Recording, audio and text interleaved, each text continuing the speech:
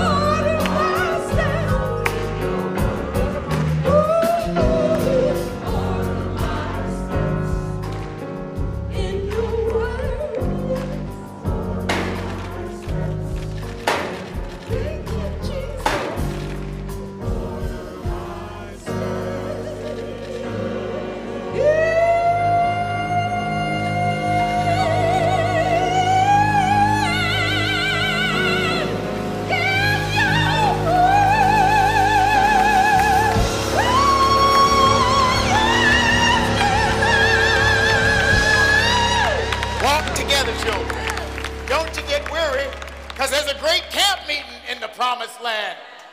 Don't worry. Be happy. God love you. God bless you. And God hold us all always in those almighty hands of love. God bless you.